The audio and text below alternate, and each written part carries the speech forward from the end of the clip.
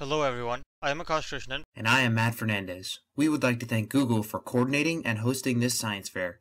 Here is a demo of our project in action. We hope you find it both insightful and entertaining. I'm really angry at my slow computer. So we developed, developed our own computer program to recognize emotions in human speech.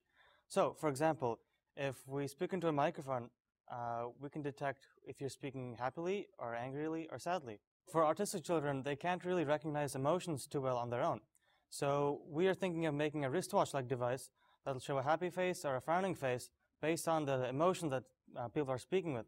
So for example, if their parents are really angry, then the autistic child can figure out their parents are angry and act differently. There's a lot of information that gets transferred that's not related to the word, just the words that are spoken. And so this could significantly improve their ability to interact with their peers, especially at a young age. Our system works by pre-processing useless silence regions out of the signal and then extracting frequency and energy levels in speech. We then determine these ranges for each emotion. Each emotion has different frequency and energy ranges, and so we can classify an audio signal based on where the audio signal's energy and frequency values fall under.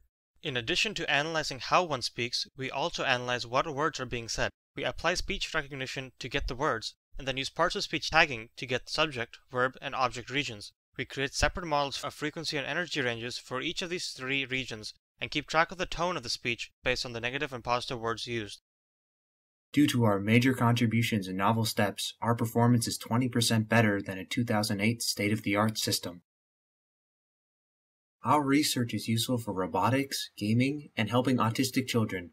To extend our project, we plan to extract features via phonemes and evaluate our real time performance. Thank you for watching. If you have any questions, please feel free to contact us via email.